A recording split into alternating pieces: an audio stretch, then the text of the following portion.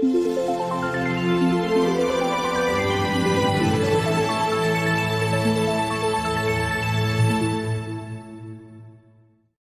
下的议员合同基本上都签完了，除了森林狼的还有一份没有确定外，现在东西部的格局也已经渐渐明朗。西伯杜和帕特勒的谈判，不用想都知道结局。西伯杜没有能力留下这位拼命三郎，更何况他和唐斯的矛盾也已经无法缓和。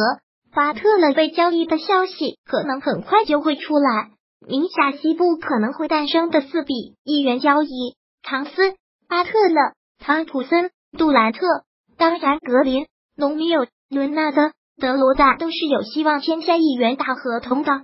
不过今天我们就来说说这几位。巴特勒一旦离开森林狼，唐斯将会乐意接受森林狼那五年一点八七亿的报价。这份合同可能会被球迷吐槽。为什么这么说？首先，球迷认为唐斯缺少一种争冠的欲望，打法太过佛系，态度很无所谓。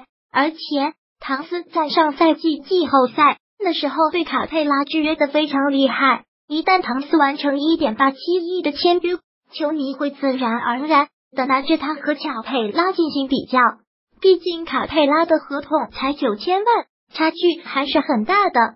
另外，勇士记者透露的勇士名下会和杜兰特完成五年二点二一亿的大合同，那勇士可能无法留下克莱，届时湖人很可能会得到这位顶级三 D 球员，合同至少也是一元起步。